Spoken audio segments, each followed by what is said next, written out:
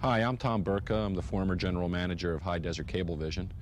Um, I've known James Cole for over five years, and uh, I'm sure it's evident from the rest of this tape uh, that he's uh, very technically capable and does uh, very good creative work.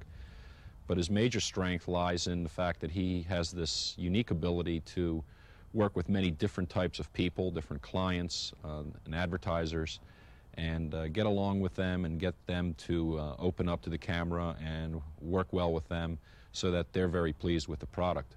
So his people skills are, um, in essence, uh, insurpassable, and uh, he works very well with his coworkers and uh, treats people with respect and would be a valuable addition to uh, any team.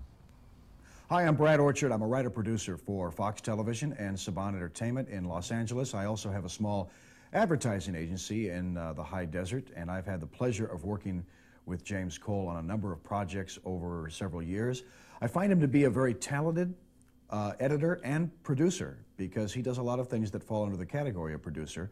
He has uh, uh been able to handle a lot of tasks that I have given to him, uh, many times on deadline, uh, sometimes with a very stringent deadline.